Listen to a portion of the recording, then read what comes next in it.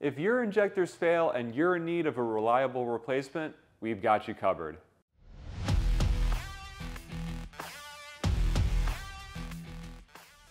XDP remanufactured injectors are designed to meet factory specifications and tolerances for your 2011 to 2014 Ford 6.7 liter Power Stroke.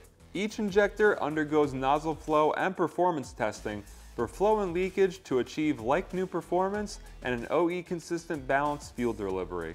The injector bodies feature a durable mil-spec coating for improved corrosion resistance and come equipped with all new O-rings, hardware, and a hold down bolt.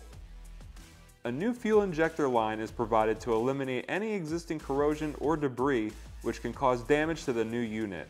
Also included in each box is a sticker with the IQA code needed for programming.